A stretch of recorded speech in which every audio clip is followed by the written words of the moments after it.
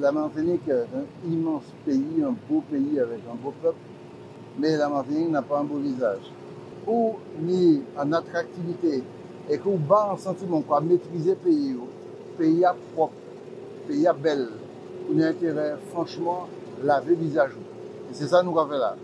Et nous commençons par passer Karcher, ensuite nous avons viré peine, nous virer peine, nous avons entretenu plus régulièrement et nous avons un dispositif éclairage public supplémentaire.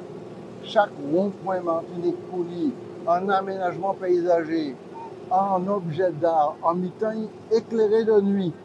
C'est véritablement un défi qu'il faut répondre. On insiste à, ce barrage-là parce que ne peut pas dire qu'il euh, faut que tout la développer, il faut que nous bien en tête nous. Et puis, ou dans des GBA, nous, bah, là, nous, tout partout, là, salle ka ka an an ka ka pa pou mèm. Dok si nou le, ke pepla su nou, fok nou ba ekzamplan, e maka touve se route noua, pa en kalite, en estetik, o nivou. E fok nou plante plus arb, plus flèr, plus plant, plus kalite, fok nou a ose otomatikman.